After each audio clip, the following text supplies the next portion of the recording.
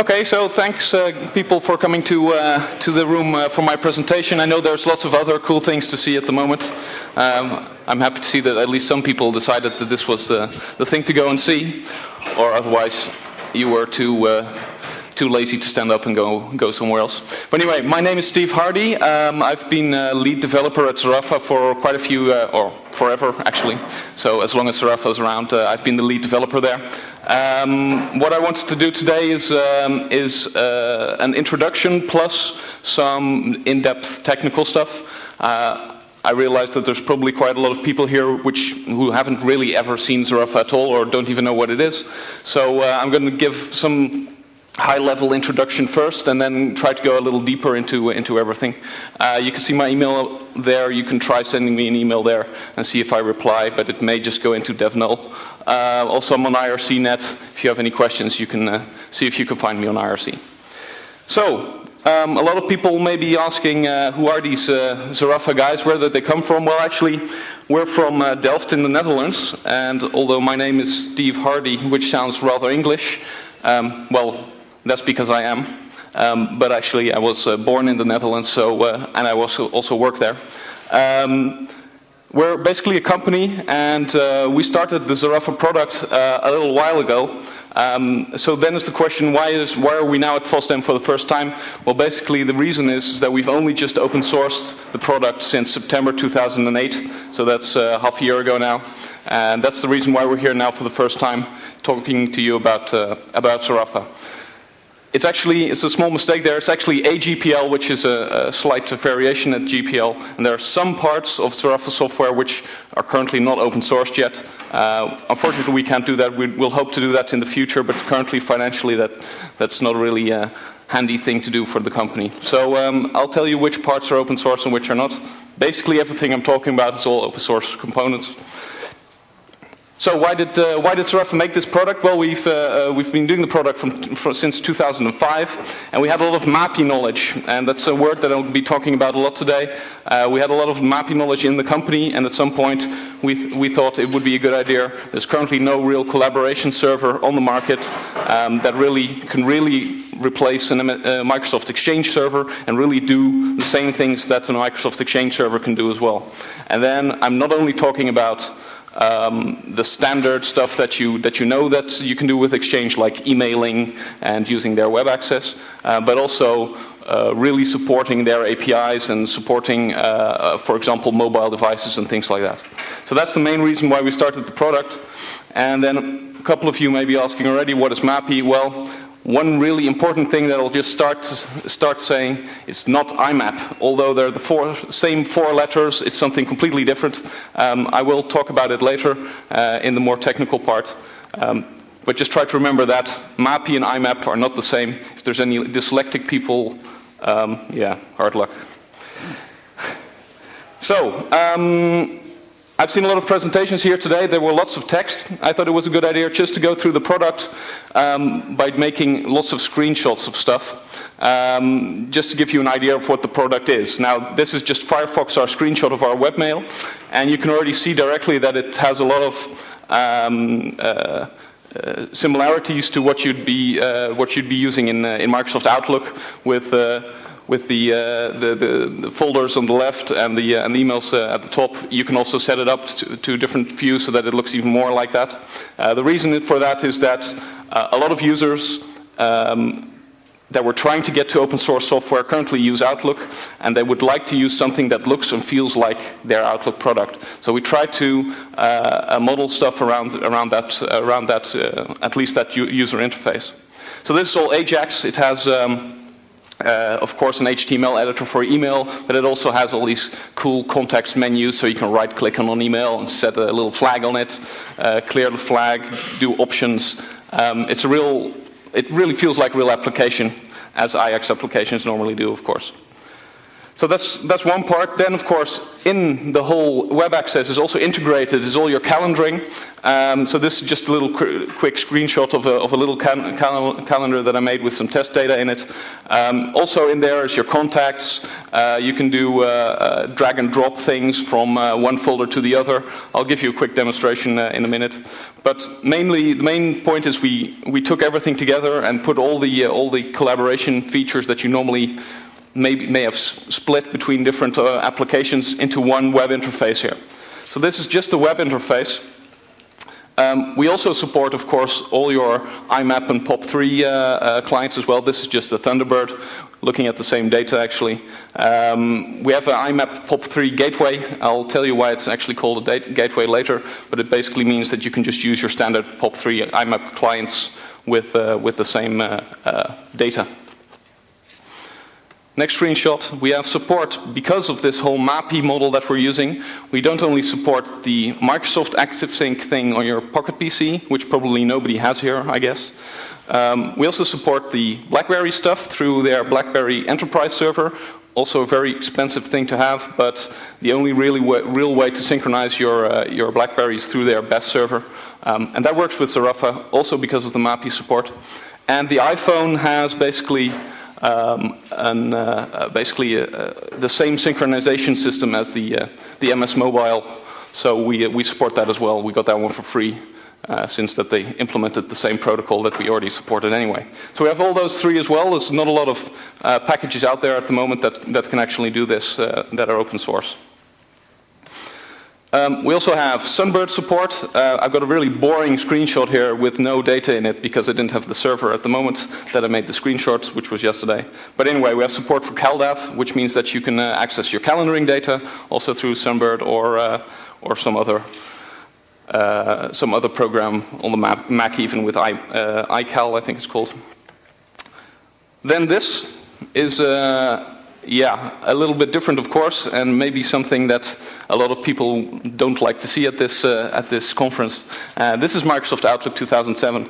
Um, we do support this as well, but if you want this, this is the, the, the non-open source part. So the, the Microsoft Outlook support is actually not in the open source product.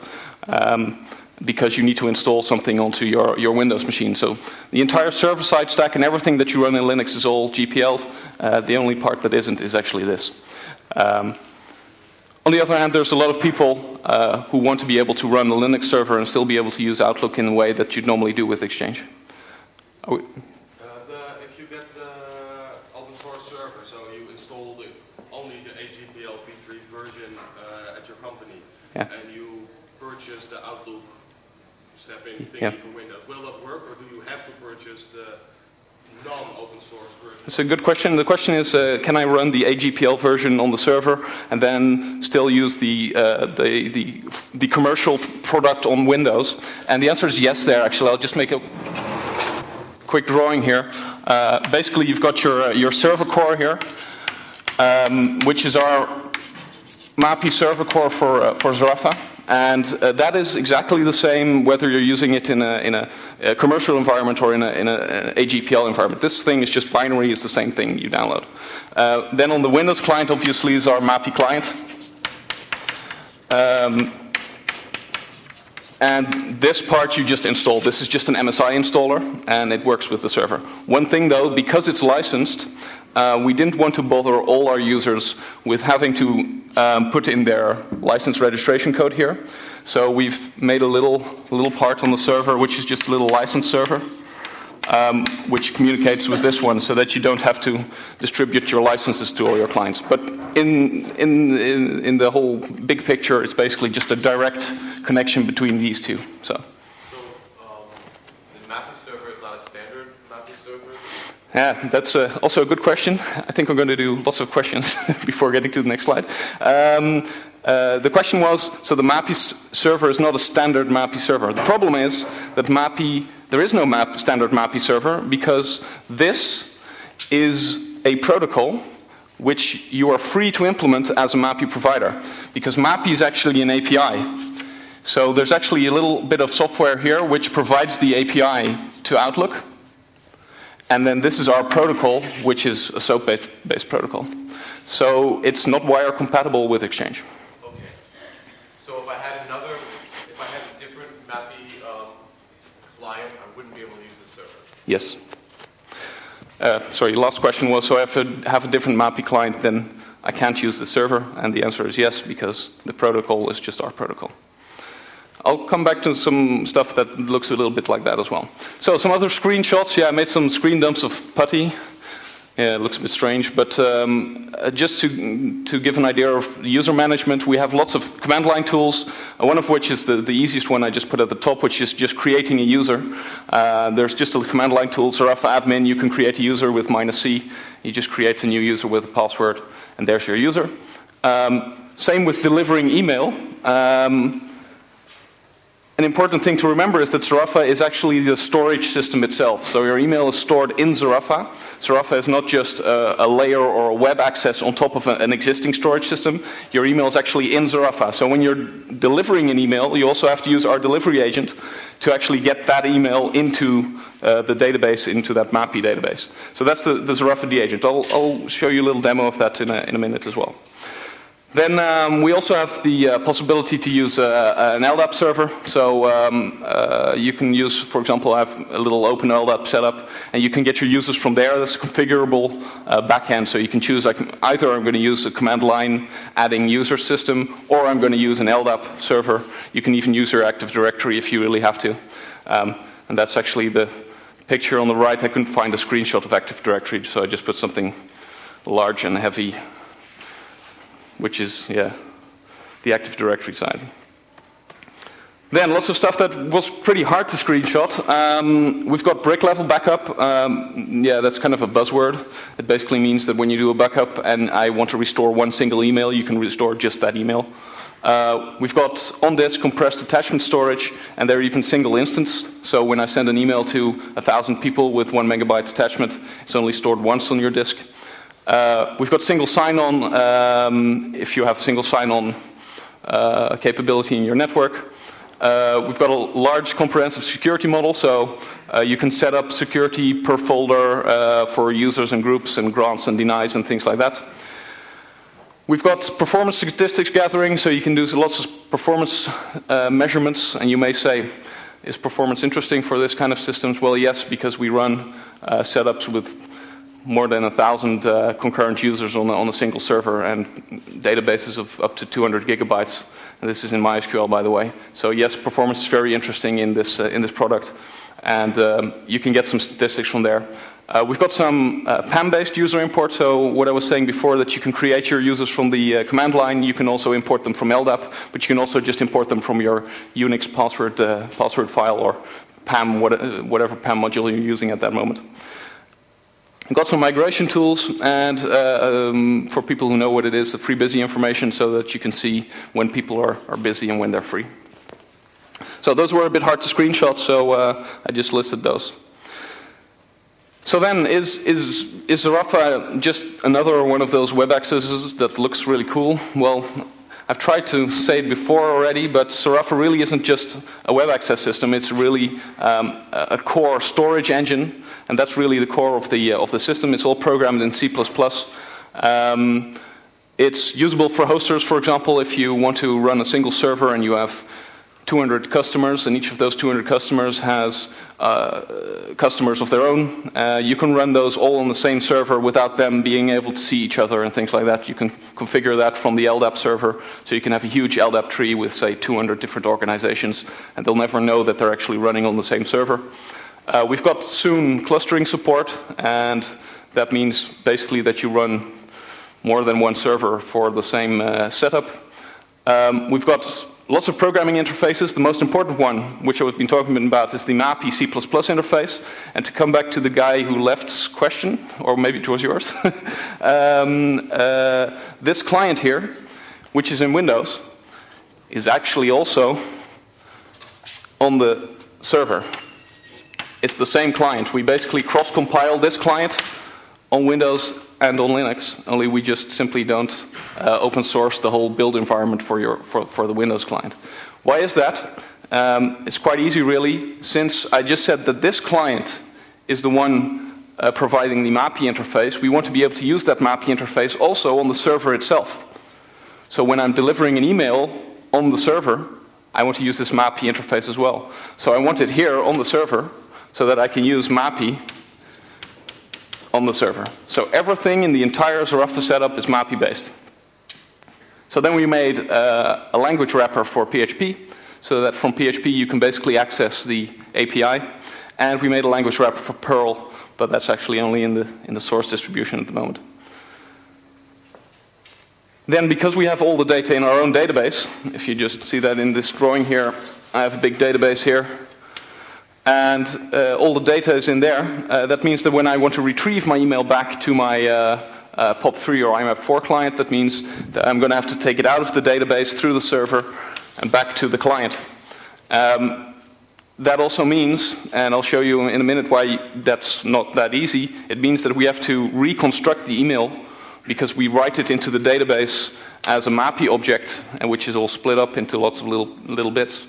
And the IMAP client wants the RFC 822 message again, so we have to reconstruct the message.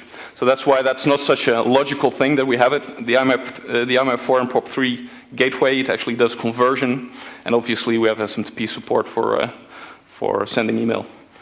And as I said before, we have CalDAV and iCalendar for, uh, for your calendaring needs. So here's a little stack overview. Uh, MySQL over here. Uh, we use uh, InnoDB for all our database stuff, so it's all transacted. It's highly optimized. We've done a lot of work there, uh, also with MySQL to get that really, really blazingly fast.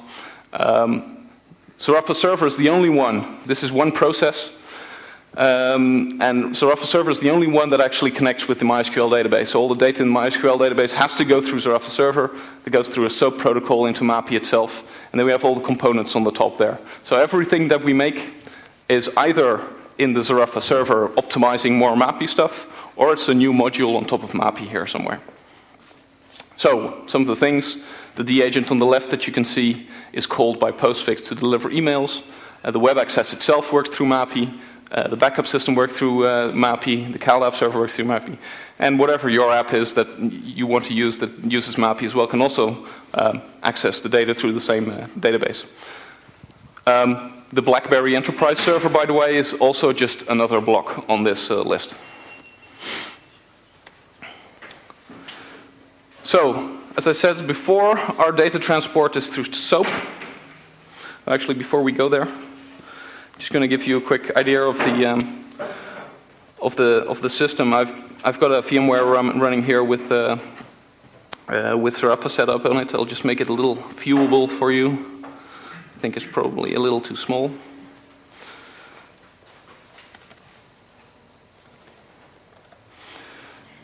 Now we have uh, uh, the delivery agent, which is the uh, the system. As I said before, is the uh, um, the way that you deliver something into somebody's inbox. Normally, that is just called by Postfix. So Postfix has an email and uh, basically just starts up the delivery agent and puts an email in your inbox. I'll just show you what that looks like. I have to start it from my uh, tree. I don't have an actual install here, it's just a debug. Um, so normally you start it, started up. Um, one of the parameters probably a little too low at the moment, isn't it? Uh, you started up with a parameter is the username. Uh, I've got a user, user 999. Um, that didn't work. Sorry about that. Had to fix the path there. Um, now it's just waiting for my input for the email. Normally now the entire my message is pumped into here, but I'll just do a little little test email, for example, hello world, and we'll put it in there. And as soon as the uh, there's an uh, end of file there, you actually see that Outlook already pops up with, uh, hey, you've got a new email.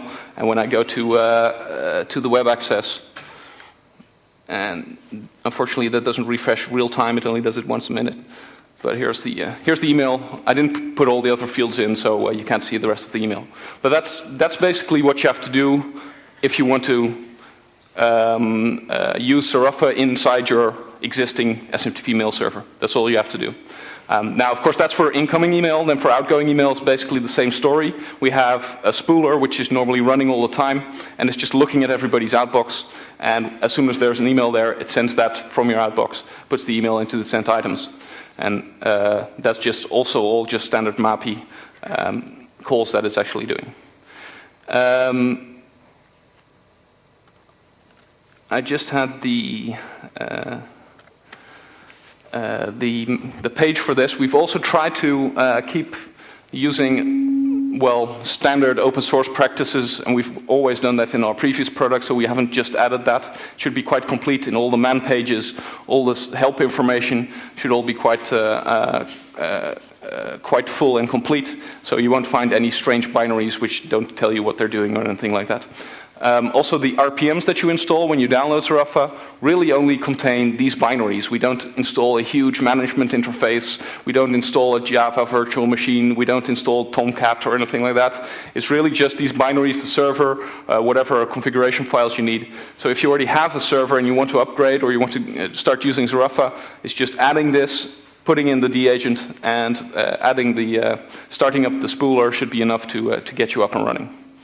Also, this has lots of options so that you can deliver stuff into people's junk mail folders and things like that. So if you want to integrate it with Procmail or things like that, it's quite easy to, uh, to use the minus J option up here, uh, which uh, delivers an email into your junk mail folder instead of your inbox, for example. Or you can just drop it, whatever. It's the same as what, you're, what you'd normally do with Procmail. So the web access here, just quickly uh, uh, go through, show you a few little things. Got here indeed the, uh, the right-click stuff. We've got the calendar, uh, which you can also set to different uh, uh, to different views with week and and day.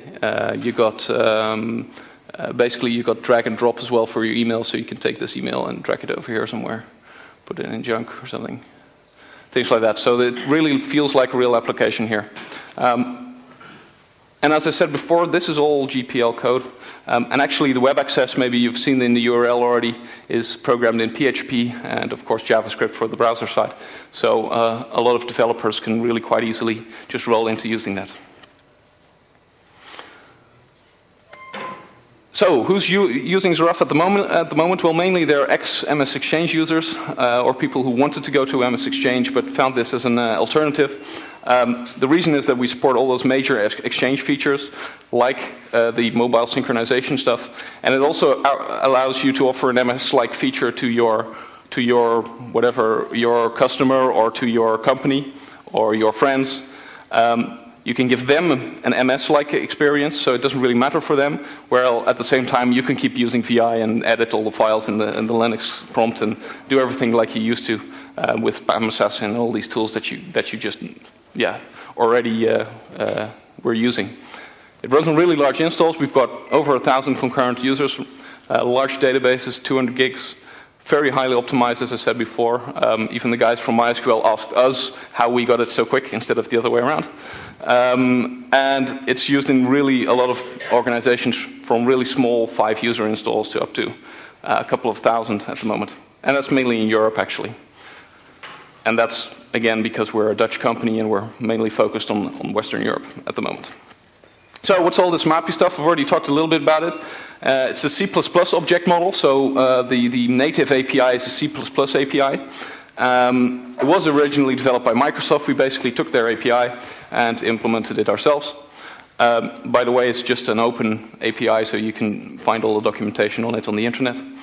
Um, and it combines basically all groupware items, and I mean by groupware items, I mean all the stuff we've been talking about, like email and calendaring, all into a single data model. Um, then what's the difference with IMAP? Well, everything. As I said before, MAPI is not a protocol. It's our own protocol, whereas IMAP's a real protocol. Um, MAPI works on lots of groupware types of items, whereas IMAP's really been made for email. Um, basically, there's there's no real uh, uh, similarity between the two. And do not ask me, can you make an IMAP backend for Zarafa? Because the answer is no. And we've had that question a lot. So, why do all this work to use MAPI? It's all compatibility. It's just so that you're compatible with our other MAPI products and with, obviously, the MS products. So as a quick introduction, uh, going a little deeper now, uh, what does this interface look like? Um, there's quite a large interface. I've just put a little bit on this sheet to give you a little idea of what it looks like. Basically, you've got an object called an iMessage store that is a big store of data, and basically that's what you see in your web access as being this thing. This is a store. Um, that has a couple of functions. For example, you can say get properties, or get props is actually called. And for example, you can get data like what's the name uh, uh, of, this, uh, of this store, or you can get the size and things like that.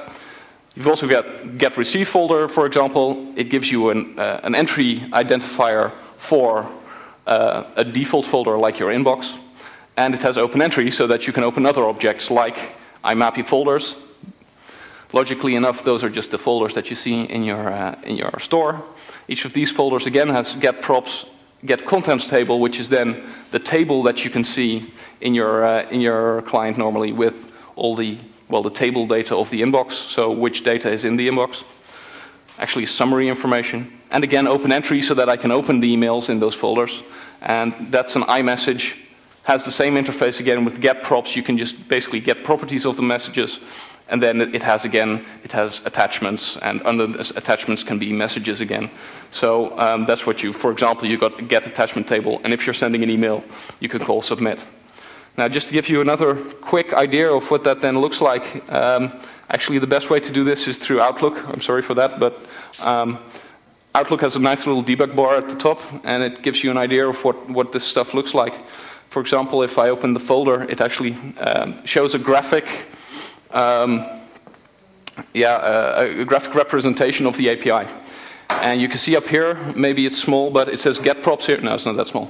Uh, it says get props here, and then these are all the properties on this email. Now you can see there's quite a lot. And this was a really simple email. Uh, one of them was, for example, is down here. Uh, oh, sorry, this was the folder. Yeah, so uh, we're looking at display name. PR display name is inbox. And that's actually just the name of the folder. All of the other properties are usually quite internal things. They're all important, but they're not that easy to explain at the moment. Same thing for an email. The email just has properties as well. It's just a collection of, uh, of properties. They all have different types. Um, and in this case, the body has, uh, let's take the subject. The subject is test, uh, well, some test email that we delivered. Um, so you can see just this is the API that you'd normally use to get all the data from the, uh, uh, from the message. Now you can imagine going from this data structure back to RFC 822 to your, to your Thunderbird client is quite a lot of work because you have to thread everything back together, do all the encoding and all the, all the, all the conversions and things like that, even char set conversions. So it's not that easy. Um, but you don't have to think about that because we do that in a couple of libraries that we also uh, provide. So that's the API. Um, well, quick overview. But it also has delivery rules. It has replication mechanism, server to server. Uh, we have an offline system, for example, which uses this replication. It has a security API. It has HTML plaintext conversion stuff. It has advanced searching, so you can make a huge query tree and run a search. These are even live searches, so they update as soon as an email arrives. The search results automatically update, things like that. Uh, it has full text searching. It has address book functions, and one that I didn't put here is that it has real-time notifications. Um, as I demonstrated before, when I delivered the email, you got a direct notification of you've got a new email, and that's also part of MAPI that you can push notifications to the client. So ways to develop with Zarafa, since this is a developers conference, um, I thought I'd just put these down on a, uh, on a list. Uh, well, obviously with C++, you can uh, um, basically write entire applications. You could theoretically rewrite the entire Outlook, uh, well, UI basically, because uh, that's all Outlook really is, it's just an UI on the, on the API. Uh, you can write that in C++ uh, in, in, in, Linux, but you can even then run it on Windows because it's the same API. It's all source compatible, so if it compiles on Windows, it'll compile with Zarafa on Linux as well. Except, of course, if you're using lots of stuff like MFC and things that are only, only exist on Windows. But for example, you could make a Qt application in C++ and, and have it cross-platform compiled on Linux and on win Windows. Um, obviously C++, uh, easy to make lots of other language bindings um, with Swig or something like that. It uh, should be quite easy to have any language that you want also wrapped. I don't know, Ruby or something, Python. Uh, but the ones that we deliver at the moment is PHP. Uh, makes really nice little simple scripts and it also makes our entire web access. So also that's a quite comprehensive uh, API there. We haven't exposed the entire MAPI API through PHP, but almost everything that you're going to need uh, for, for, for scripting. Um, Perl is the entire API, but currently, as I said, it's only in the source distribution. If you want to play with it, you can just download the source distribution and, uh, and use that. Um, and then last, lastly, the web access plugin framework. I'm going to show you a little bit about that, what that looks like. You can make little plugins for the web access and, and uh, or big plugins even, and uh, they integrate then with the uh, with the Ajax web access. Now, just to go through, uh, uh, just to give you a quick idea, are there any C++ developers here? One, two, okay, that's enough. I'll just give you an idea of what the C++ looks look, looks like. Um, what shall I take? uh, my spacebar is broken, I think, so sometimes it doesn't space. Uh, bear with me. Uh, here's a nice one. Don't laugh at me, I use Joe for an editor. um, now it looks quite Windowsy uh, because of all the capitals, but uh, yeah. so lots of capitals there. Uh, just, I'm just going to walk through this, what, what this code actually does. I think it actually opens your inbox and just dumps the, dumps the, uh, the inbox contents or something like that. First thing you always do is MAPI initialize. That's, that's just a MAPI standard. Um, we've got a convenience function here where you can just open a session directly. You can just say, I'm this username, this password, and it will open your session for you. In this case, there's no error check. Oh, yes, there is. Um, you can specify it on the command line with this test program. But that'll, that'll give you a session. That's your starting point.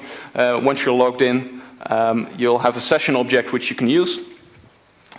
Uh, on the session object, I have to open my default store. There's not just one store. There's, there can be lots of stores.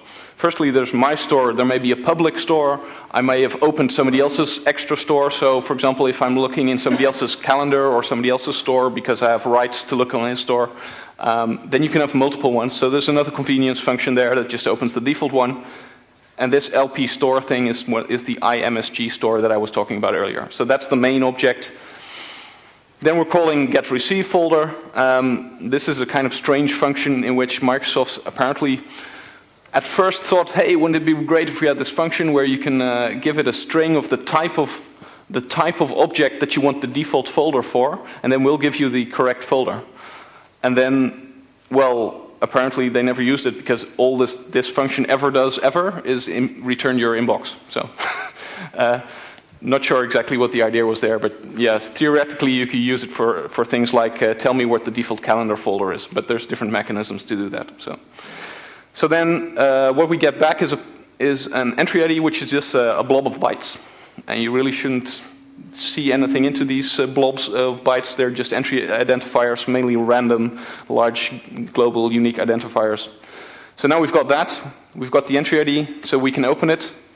And the open is happening here, where it's just opening uh, this entry ID, and what you get back, I just have to scroll to the end of the line here. What you get back here is an, uh, an inbox, which is one of those IMAPI folders that I was talking about earlier.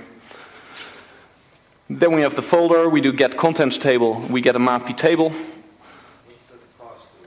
Yeah, the cost is there because um, because I want to access it as uh, this function can return lots of different kinds of uh, IMAP, a MAPI object because it may return a folder, but you could have directly opened an, a message, so you would have gotten an iMessage. So that's the that's the cost. Um, so I'm opening the table here. Uh, then you're saying which columns do you want, and you're so you're saying I want subject uh, from to I don't know that that kind of stuff. Then you're saying give me the rows, and then I think we're not even outputting them, but just freeing the data directly. Well, there should have been a printf in there somewhere, probably uh, outputting some inf in interesting information. This whole memory management thing, I won't go into that now. I don't have any time for that, but. Yeah, this is just a simple program that just opens your inbox and dumps the, uh, dumps the contents. Now, if we have a look at the, the same program in PHP, um, I think I put it here somewhere. Yes. Um, now, PHP, of course, um, normally, well, uh, natively is not an object-oriented system. Don't kill me now, people saying, yes, it is. Well, not if you're exporting C functions. Um, oh, the red is not very readable, is it? Uh, so basically, we've changed everything to, into a non-object oriented uh, API in which you just pass the object as the first parameter. That's what C++ does anyway. um, so we're just passing the, uh, the, the, object as the first parameter, and then the rest is the same because we're opening uh, a session here. Uh, then we're looking for the default store. We're doing that here by hand. Then we're opening the store. Then we're doing this get receive folder function again. It's exactly the same as we were doing before. Then we're doing get contents table. Then we're doing query rows. And then we're dumping all the subjects. And just to show you that that works, and I know that went really quickly, but I don't have that much time. If I run this now you get a dump of all the, all the subjects in your inbox. Now you can do some already quite handy things with this. For example, if you want to do rule stuff, uh, you can just make a little PHP script that looks for emails with a certain subject and moves them all somewhere else. Or you can make a little um, script. I know that PHP isn't the best command line scripting language in the world, but you could theoretically make a little script that integrates with asterisk, for example, that each time you're called, that it puts in your calendar, you were called by this number or something, I don't know, things like that. Or even, even nicer, um, that it looks in your calendar whether you're in a meeting, and if you are, it puts it to voicemail, things like that. So it's quite, you can do a lot of cool stuff with this PHP stuff. I haven't seen that many contributions yet with this kind of uh, VoIP kind of integrations, but it should be, uh, should be quite easy. And myself, I really don't, uh, don't know anything about asterisk, so um, if anyone does, I'd love to see it. Um, what was the third one? Perl, yeah, we won't go into that. What's the time? Yeah. Um, the Web Access plugin framework. Uh, I'm just going to walk through an existing plugin again. We're not going to uh, write it from scratch. Um, as I said before, everything in the Web Access is PHP and JavaScript based. So um, usually you, for your module, you have a server-side part and a client-side part. And what, we're, what I'm going to demonstrate in a quick uh, plugin here is uh, uh, one of those um, cool, uh, if I hover over um, a, uh, an address, that it will show the Google Maps, uh, little map pop-up of that address. Um, what you basically do is Zarafa has a uh, the uh, web access has a special plugins directory. Each directory that you put in here is, is a plugin. Sorry about that. So we've got two plugins here. We'll just look at test. And the most important thing here is the manifest. There's an XML file which uh, basically tells, uh, tells Zarafa what, what files are in here and what it should be doing. Um, and it has information in it. Uh, as you see, I didn't write this, but my colleague did. Um, but basically the most important stuff is down here. I'll just highlight this so that the beamer shows nice. Yeah, that's a lot better, yeah. If you use VI, you can type. Yeah, exactly. We'll do it like this. Huh? Hey, that worked. Uh, so down there, the, the, three things down here, the most important thing, this is client code that uh, should be included. It basically tells Zarafa, these are important files, you need to include them. It doesn't do much else with them, it just says, tells the browser to load those files. So in this case, we have plugin test.js and we have test CSS, a little CSS file. And uh, it also says that for the dialog, because we have separate dialog windows, you don't see that a lot, I must say, in, uh, when I double click an email, it actually opens a new window. We don't do these divs in, uh, in, inside the main window, we just open completely new windows. So you can set up which file should be included in which, uh, in which window system. So then, of course, the most interesting thing is the plugin test.js. And just to walk through this, hopefully not too quickly, but kind of quickly, uh, there's an initialization function there that's uh, started up as soon as the, uh, uh the window's loaded. And then you can start registering uh, basically events. We've got a huge list of events where you can hook into, and a couple of the ones are here are pre-display, post-display. Um, that's pre and post-display of the HTML. Um, I think yes, the HTML body of the email. So it's set body, pre-display, and post-display.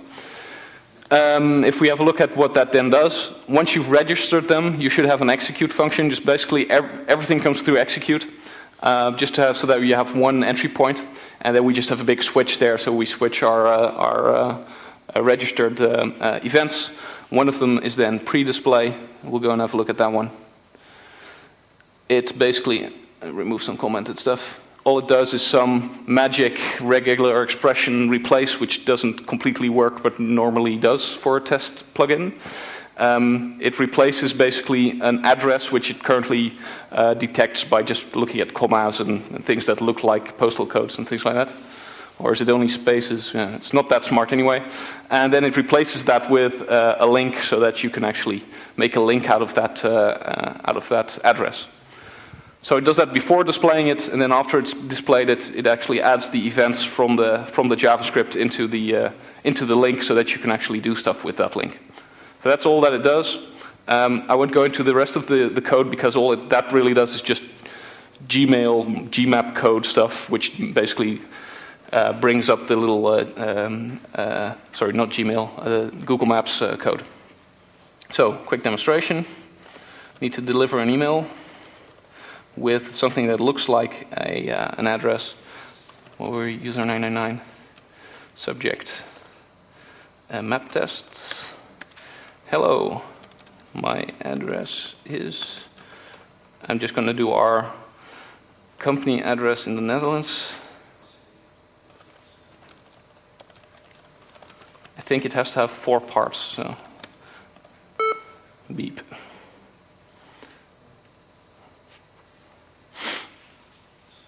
So we'll just load that up.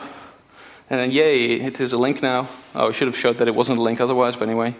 Um, and it does this cool uh, map thing. So yeah, it's probably with only a couple of hundred lines of code, you've got a cool little uh, plug-in there, and you can make make basically everything with this uh, with this uh, system because you have full control of the entire system. Um, that means that you can do everything. It also means that you can break everything. So uh, that's the problem with these kind of extension systems. But it's basically the same as in Firefox. You can make weird extensions that break everything in Firefox as well. It's the same idea. You can just uh, hook into everything and change stuff. So uh, that's the idea there. Uh, this actually will be in the next released version, which is 6.30.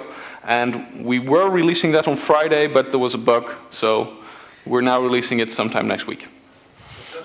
Yeah, just one, yeah, yeah. Well, there was one bug that we thought, wow, this is really, yeah, you don't want that. I think that was an upgrade problem. Uh, so it wouldn't have even been bad for you guys, probably. Um, let's see, uh, yeah. That's all for the uh, for the web access plugin framework. If you want to see more, uh, the beta's coming. We're going to be posting lots of information on our wiki. Uh, we have a nice uh, uh, wiki page with lots of technical stuff, and we'll post all the documentation up here with uh, all the uh, all the hooks that you can use and all the information that you need to create your own plugins for for the Zarafa web access. Uh, a few more sheets. Some projects that are some of them are ours. Z-Push is the ActiveSync protocol implementation that I was talking about. You can actually also use that without Zarafa. It has a, an IMAP backend, so on one side it talks IMAP, on the other side it talks ActiveSync. And you can use that to synchronize your Pocket PC or your iPhone. So, um, of course, you could just use IMAP, which is basically the same. But uh, you can also make other backends. For example, if you want to use a different, uh, a different synchronization, you want to synchronize, I don't know, your uh, your vCards in a directory somewhere, you could use that as well.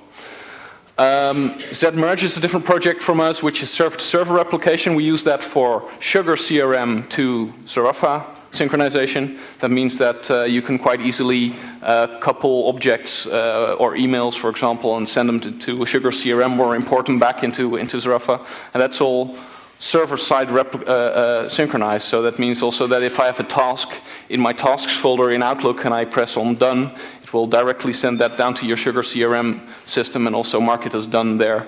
And if that task was a shared task, then it'll even mark it done for all the other users that also had that same uh, shared task.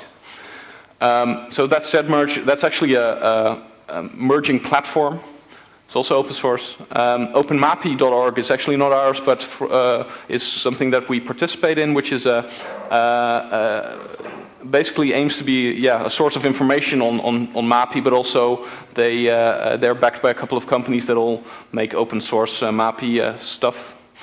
Uh, last one I put down there is just because I made it. I made a small uh, InnoDB for MySQL statistics and recovery program.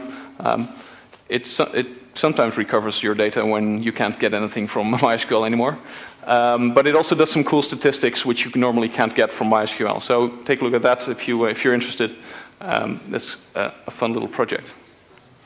So I think nicely in time for questions.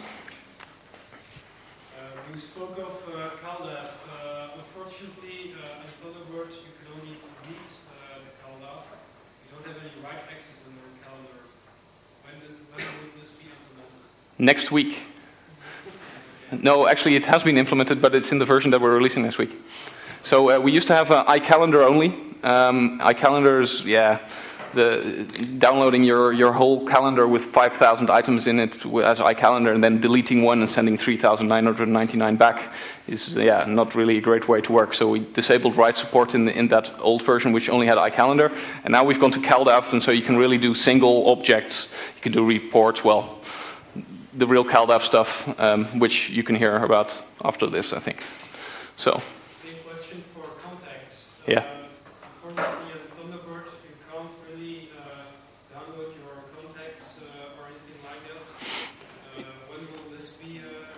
Yeah, so downloading contacts in, in, in, Thunderbird, I really have no idea because what is the protocol that Thunderbird uses for that?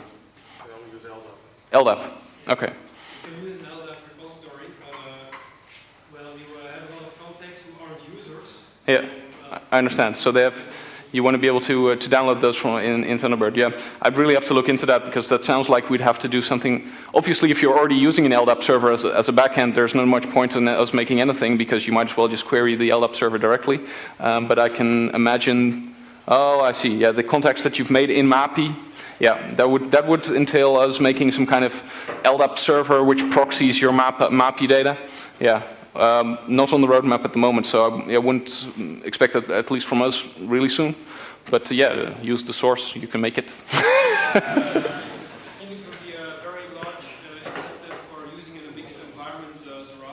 Mm -hmm. It was an open source community. Uh, I think it uh, would be very handy uh, to get that functionality. Okay, noted.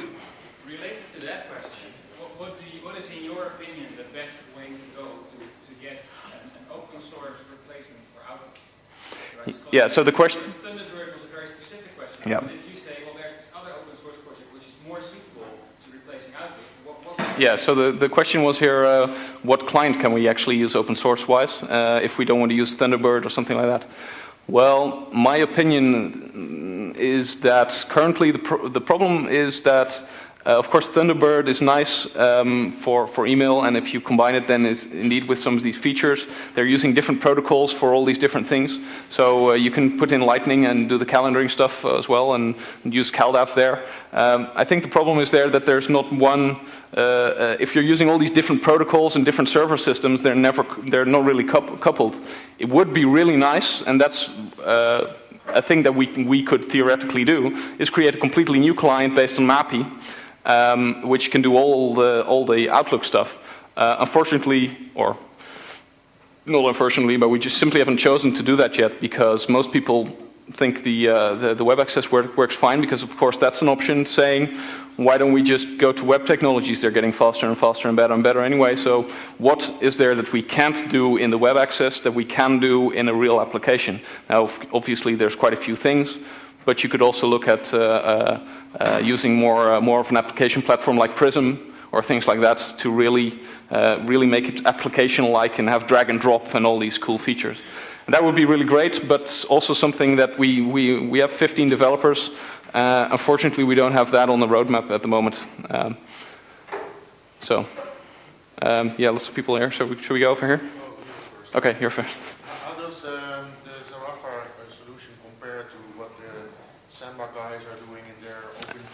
I knew I'd get this question, and you told me to take the sheet out. Yeah. Uh, so the question was. I saw their presentation at the NLUUG yeah. Oh yeah, he was there as well. Yeah.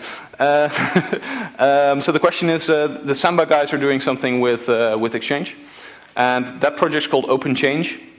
Um, uh, I've actually spoken to one of the, a couple of one of the developers here. We were talking about how we can do stuff with Zarafa there, because what they've done is actually the, oppo the opposite of what we've done. Is basically take this wire protocol from Exchange and basically do what Samba does and um, protocol anal analysis it. no, no, no, no. they didn't reverse engineer it. Not allowed to say that. They did protocol analysis on that. And uh, so that's, that's what they did now again with Exchange. And the reason for that is that the Exchange RPC, which is how what they call it, um, uh, looks a lot like all the Samba stuff because it's based on the same RPC uh, uh, code base.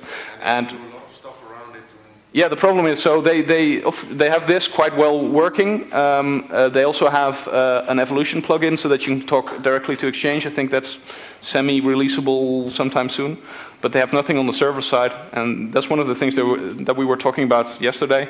Um, since we already have a database with a MAPI structure, it would theoretically be possible to take the Exchange Wire protocol and use our backend. But that said, uh, I know there will be really problems there. um, the, uh, there's no one-in-one -one mapping between the Exchange RPC protocol and our database. We probably have to do some conversions and things like that. And then is the question is, why do you want to do that? Um, I think the main reason why you want to do that is that you don't have to install something extra on your Windows machine, um, which is a yeah fairly minor plus, I'd say. But so, next question. Person in the back.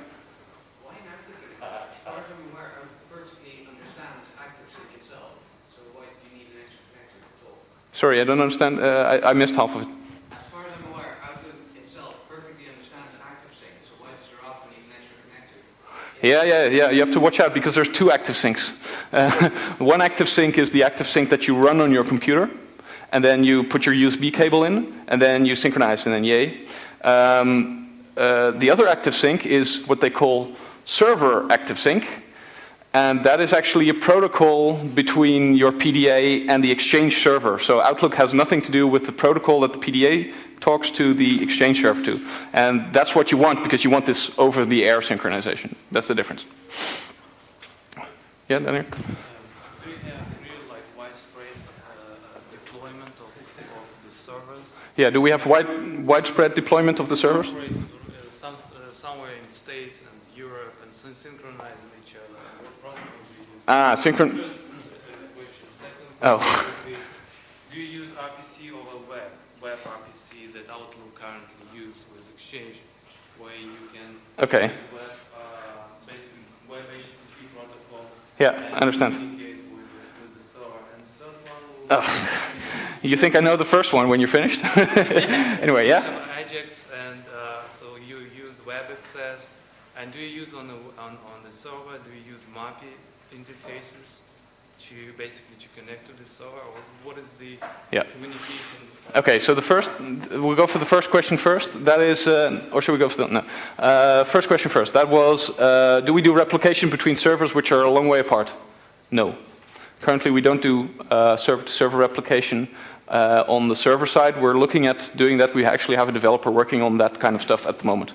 Uh, the reason is because if you're doing clustering, the normal clustering way in, uh, in, in MAPI setups, aka Exchange, um, is that you basically have five servers and you, you basically uh, spread your users over those five servers. So you say user number one is there, user number two is there, user three is there. Uh, so there's no replication there. Uh, so we're looking at whether we can have some kind of replication system there. But that's, uh, I'd say, probably talking end of the year this year. Second question I can't remember anymore. The third question was about whether we use uh, uh MAPI on the server uh, for the Ajax. And uh, that's totally true. Um, we do use that. Um, no, I'll just tell it, otherwise it'll take too long. Um, the PHP language binding that I was just talking about is just talking to the MAPI client. The MAPI client talks over the network to the MAPI server. So you could theoretically have your Apache server on one server, Zarafa on the other server, or not theoretically, lots of people do this. Apache on one server, Zarafa on the other server, and it will just use the standard MAPI calls that you, you'd use otherwise also over the network. So that's all splittable uh, between everything. The second question was? Oh yeah, uh, there's this thing that Microsoft calls uh, RPC over HTTP or RP, RPC over something like that. Well, that's nothing else than that it's this wire protocol encapsulated in an, in an, uh, in an HTTP call. So no, we don't do anything with that because we don't do anything with their protocol. So, uh, next question, yeah.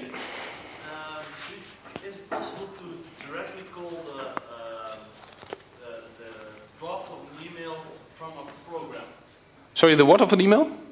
Just the, the, the making of an email. When you type an email, that dialog box, can you call that directly from uh, Windows program? In the web, the web access one, you mean? Yeah. Uh, the question is, can I uh, open the uh, the Compose email dialog directly from? Uh, do you mean from a Windows program or from a desktop application program? Uh, yeah. So whether you can uh, open a new mail link, yes, you can because we also have mailto support. So when you have a link with mailto colon blah blah, if you click on that in your browser, uh, we have a feature that you, you have to play around with some settings in your, in your operating system, whether it's Windows or Linux. Uh, but if you do that, um, you can send a specific URL request to this web access, and it will open a new. It will only open a new uh, email dialog. So yeah, you should be able to do that simply by opening the correct URL. So I, I don't really know which one, but you, can, you can, I think, on the website, uh, on our community page. Um, down here at the bottom somewhere. No, it's not. No, it's not there. Okay. It's not yet on the website. It's, uh, we have it somewhere, but we don't know where. So, uh, if you look into the source, you'll probably quite easily find what the mailto uh, link thing is. So. And otherwise, it'll be on the website soon. Okay, so last question, I think. Last question. Unless there's none. You've been already, you can ask later. yeah. Why is it completely free software? Uh, it's quite easy. We're, we're, we're basically a company. Uh, uh, we've been a, a, company doing this product since 2004, and uh, basically uh, we live off the, the license income. If we if we make it completely open source, we'll miss the license income. Um, we'd like to. Um, we're looking at we're going more direction of a service-oriented company, and we'd like to make everything open source. But currently, we just we can't just suddenly do that. And uh, I think it's, uh, I see it as a bit of a more long-term project. We made most of it open source last September. We had already had, had some open source projects before that. Now we made, most open source, and I'm, I'm guessing the rest will come as well.